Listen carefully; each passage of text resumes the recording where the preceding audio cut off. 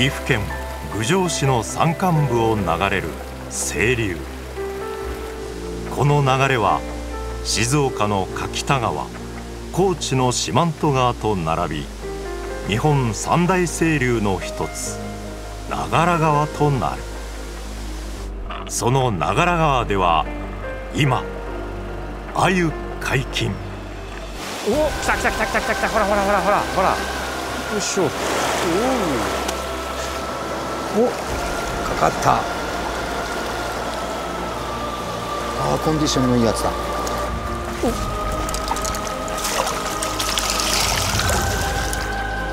あゆしたち胸躍る夏。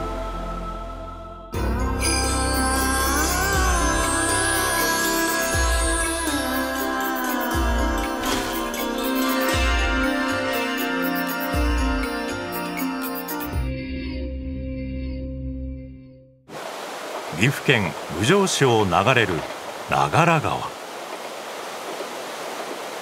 やえっとその郡上を訪れたのは日本を代表する鮎の友釣り師2人。愛知県在住小沢聡。弟剛とともに数々のメジャータイトルを獲得するトップトーナメンターそして地元岐阜在住の島慶吾。やはりさまざまな大会で優勝を重ねるトップトーナメンターだが背釣りも得意とするオールラウンダーでもある。2人は長良川の支流郡上八幡を流れる吉田川へ。平時より2 3 0センチ増水と見込んだがとにかく竿を出すこと。これから2人が始める鮎の友釣りとは事前に用意したおとり鮎に掛け針を仕掛け野鮎の縄張りを狙いおとりを泳がす。ここで重要なのが狙うポイントの選択とおとり鮎の泳がせ方。新参者を追い払おうと体当たりしてくる習性を利用し針で引っ掛けるという重宝。諸条件は厳しそうだが。やっぱりまだまだ水が出たばっかりなんでやっぱりちょっとこう緩いこう受けているような、まあ、魚がとどまりやすいような場所をポイントとして見ていった方が、まあ、周りを見る感じもそんな感じで釣れてるみたいなんで一方小沢さんは上流側で竿を出した。野鮎に追われおとりが逃げ惑う動き。俗に言う前あたりを敏感に察知できるかが釣果を左右する。おっしゃ来た来た。当たりがいい感じです。来たって感じですわ。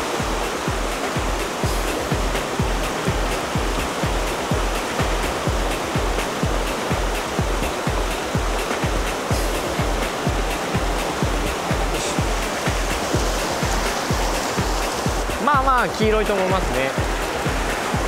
多分ちゃんと狙っていけば釣れるような感じはします。さて小沢さんだ。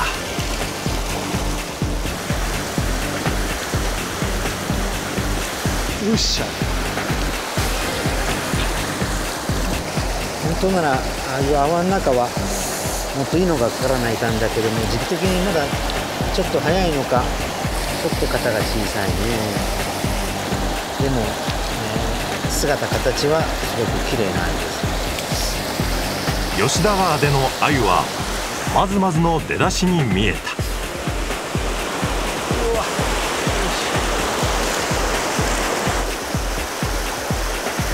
よっしゃ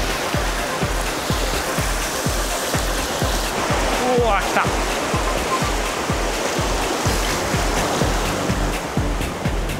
島さんは背の中で棚のよれを中心に狙い。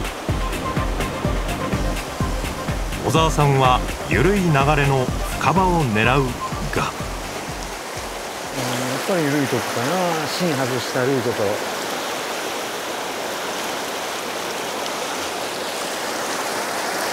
れも天然素性のやつね。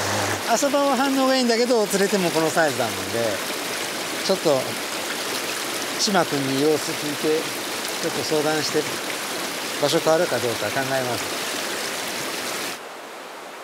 サイズを求め2人は長良川白鳥地区へ。活性の高いやつがおりゃかかってくれるはずだけどね。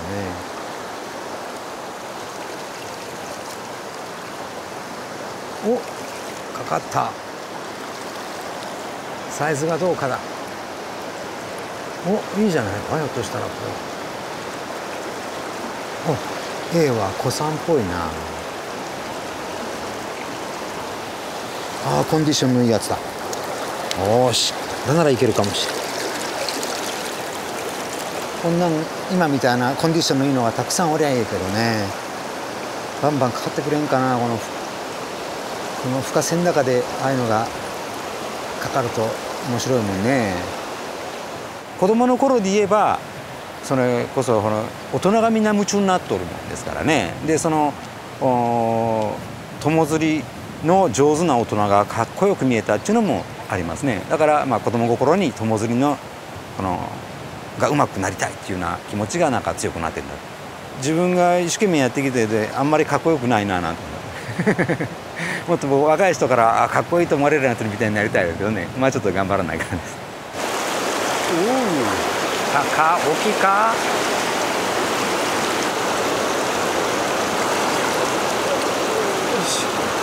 よしおまあまあ大きいですね。子供の頃から僕は大人のような長い竿を持って釣るんじゃなくて水中眼鏡で潜って相釣りをすることが多かったのでということはよりリアルな自分のおとり操作からその操作に対して野鮎が反応してくれるっていう部分がもう僕の頭の中ではイメージがあるんでやっぱ今の僕の釣りの中の基本となるところはまあ昔水中眼鏡で見て釣った、えー、自分のおとり操作からそれに反応してくれるおとりの状況っていう部分今の釣りに、えー、なってるのかなと思いますね。お、こう乗ったか。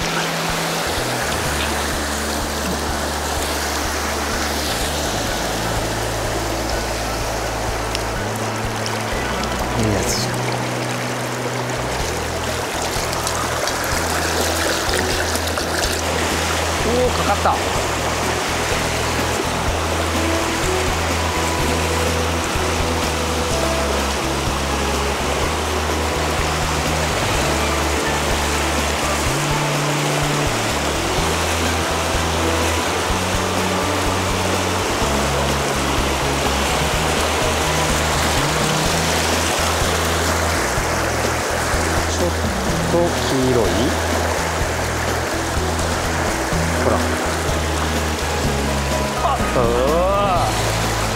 さて今日の2人の釣果こちらは小沢さん。島さん。やっぱりポロポロって感じですね。そうやね、うん、なかなか連発はせんね。そうやね、うん、やっぱサイズを期待してきたんですけどやっぱ大きさはやっぱね、うん、ちょっとまちまちっていうところもあったんで、うん、できればちょっとこうサイズの大きい数釣りのできる、まあ板取川へあええとこあるんだ。はい。連れてくれる。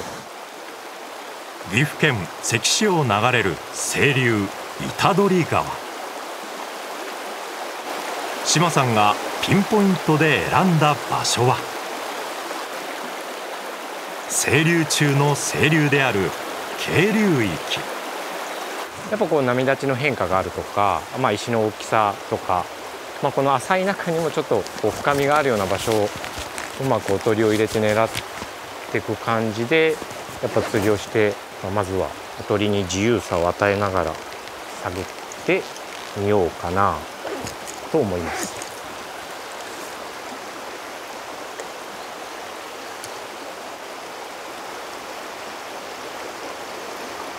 ちょっとこの辺が波立ちがあって多分周りよりかは石の色が良さそうなんでるかな？かからんかった。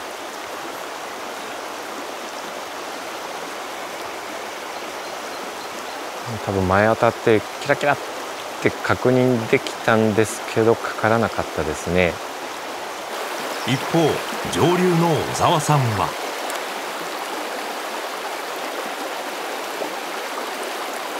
よし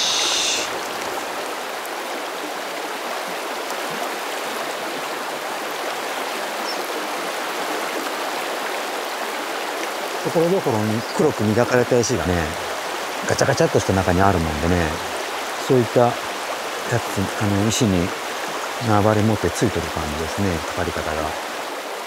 どうやら鮎がついているポイントをいち早く把握したらしい。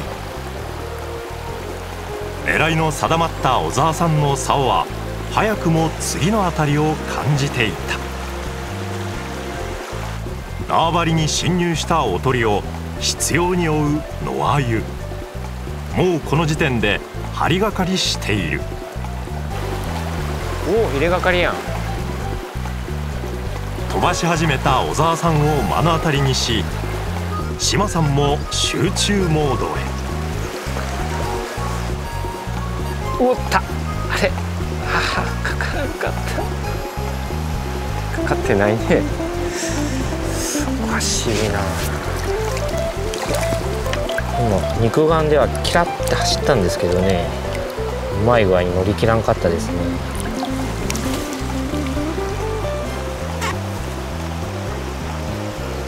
この辺にいない魚はいるみたいですね。おった。長ちょっと時間がかかりすぎますね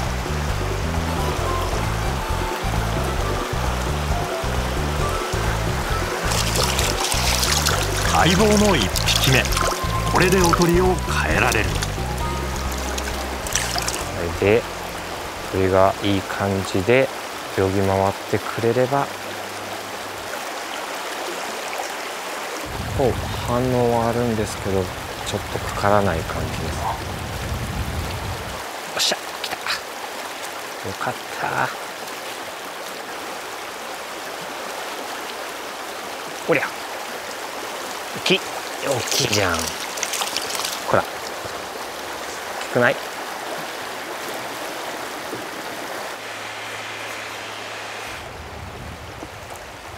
おかかった。かかった。よ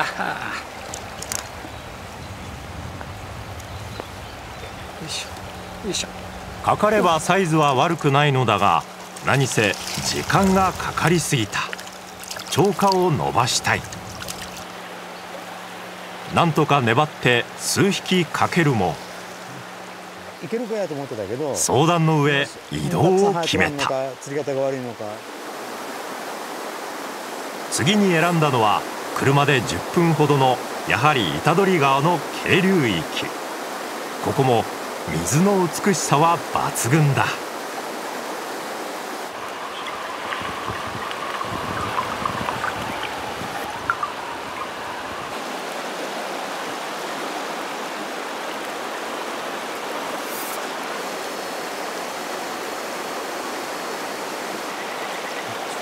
渓流層になるとやっぱ若干立てて泳がせてあげてる釣りなんかが竿を立てるっていうことはおとりが泳ぐっていう。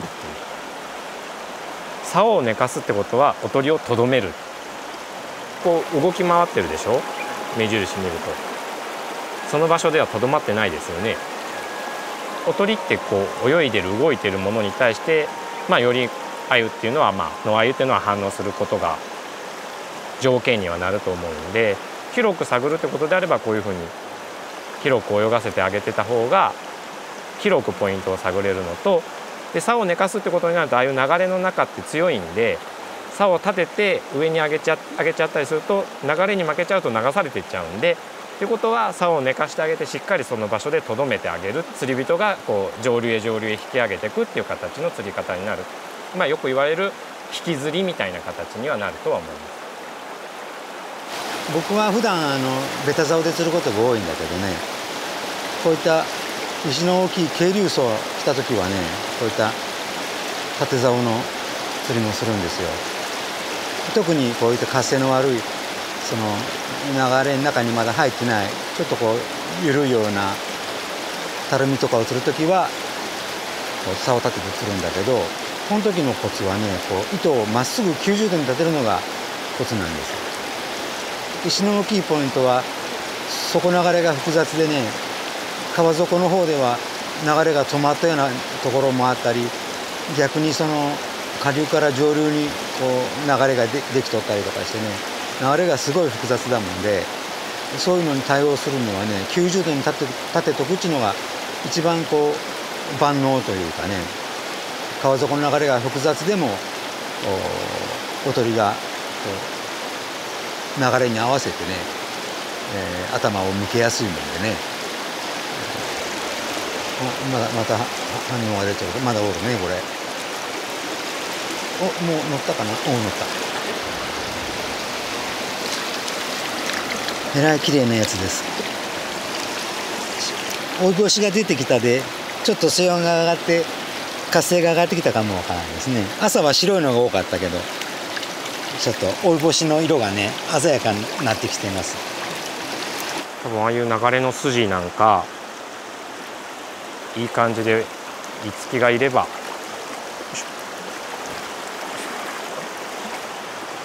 おおかかった？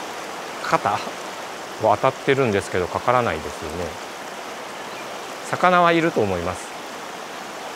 おおかかった！これが綺麗ないい魚で。うわよく引きますね。よいしょ。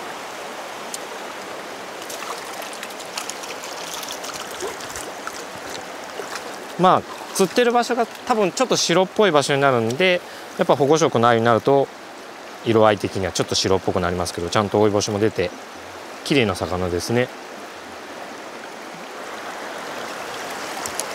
鳥が変わって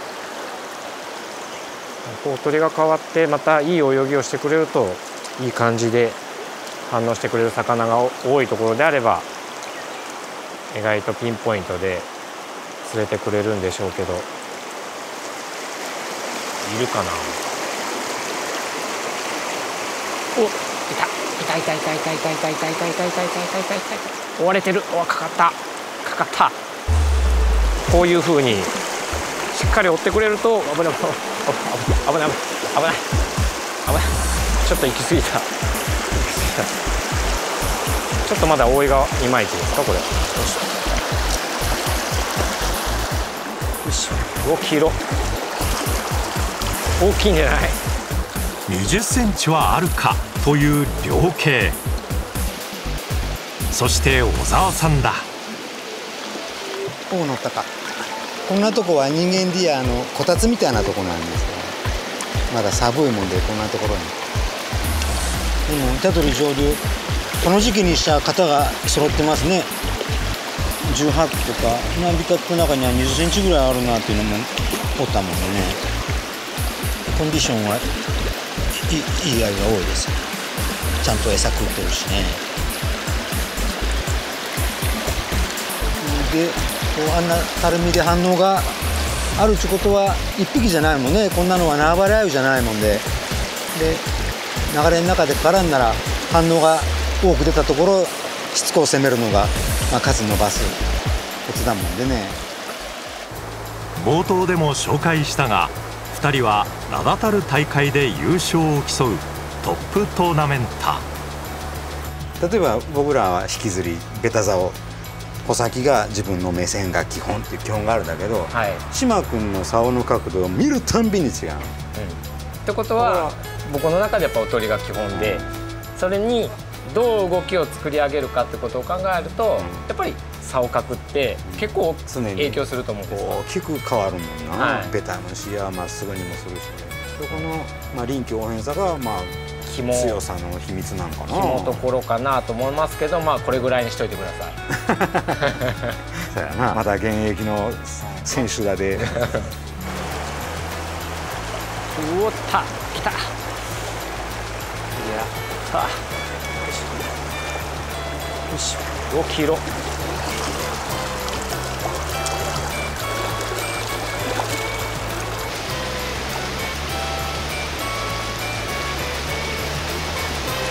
気持ちよい走ったな。よいしょ。いいとこかかってマセがかり。あら気持ちがいいな。よいしょ。あまだゴソゴソ言っとる。おるねここにも。ちょっと今流れの中におとりがおるのにゴトゴト言うで。活性が上がってきたのかもしれんね。少しずつたるみから出て流れの中に入り出したのかもわからんね。おおおおおお乗ったかやっともう乗ったやっぱどうかししとったよね一緒になって俺だったもうもうじゃない、うん、よいしょかかれかかれかかれかかったかかかったよっしゃおおおっとっとっとよ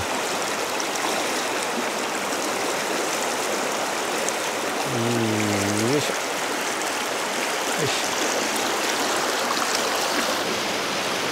ビビッ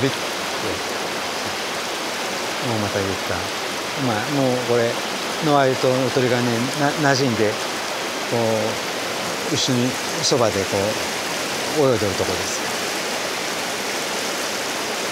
おおまた出た。また出た。もうもう時間の問題ですよね。こうなったら。うっしゃよ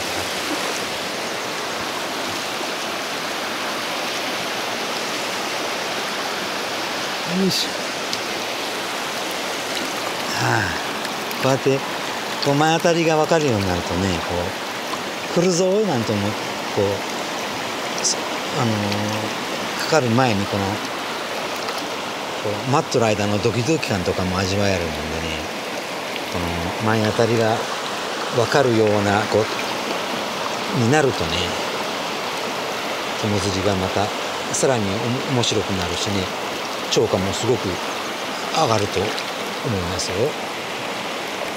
こうポイントを見極めてそこにおとりを入れてそこにいる野鮎がどういうおとり操作をしたら反応してくれるかをこちらから釣り人側からやりながらその結果反応してくれてかかってくれるっていうえ一連の流れっていうのもまあ相釣りの面白さだとは思うんで決まったおとり操作で釣れないっていうところもやっぱ面白いと思います。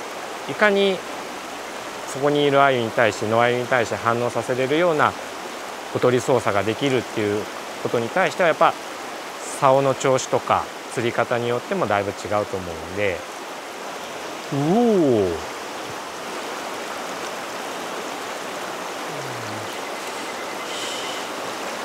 いしょ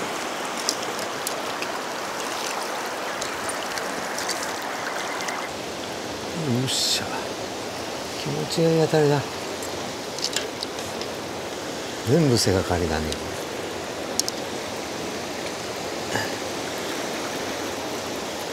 かかり方も気持ちがいいもんでたまらんです。二人は満ち足りた一日を終えた。およけ釣りましたね。ねえ思ったよりよう釣れた。これは大きいやつだとどれだろうな。あんまり揃ってないですけど僕はまあ多分これが一番いい感じですよ、多分21かそれぐらいやと思います。こんなに揃っとると思わんかった。多分生育がいいだね。面白かったわこうね解禁当初からいい感じでで魚ねの状態も良くて釣れるっていうのはやっぱ、釣り人にとってやっぱこうねこういう川がどんどんこう日本全国に増えて、うん、こう初期からで釣りやすい場所が多くて、うん、やっぱこういうのが釣れると面白いですね。ね競い合い友好を深め友釣りを楽しむ。きっとまた再会する潮遊そして川。鮎師たちの暑い夏はまだ始まったばかりだ。えー、今回僕が使用した竿は、えー、リミテッドプロ VS9m です、えー、この竿の特徴は、えー、穂先が3本ついています、えー、柔らかめのソフトタイプ。で今回使用した、えー、標準のノーマルタイプ、それに硬くて太いパワータイプ。この3本の穂先がついていますので川の状況とか魚のサイズに合わせてより幅広い対応をすることができるのが最大の特徴です。僕が使用した竿はリミテッドプロ RS9093 です。穂先の特徴としてやっぱ、え、ソリッドの専用ということでですね、今回より操作性の高い、標準穂先さらに大型に対応するようにパワー穂先はかなり太くなっている状況の部分おとり操作では両径にも対応できるような穂先がついているのでいろんなシチュエーションに合わせた、えソリッド重宝ができるのではないかと思います。リミテッドプロ VSRS を皆さんぜひ使ってみてください。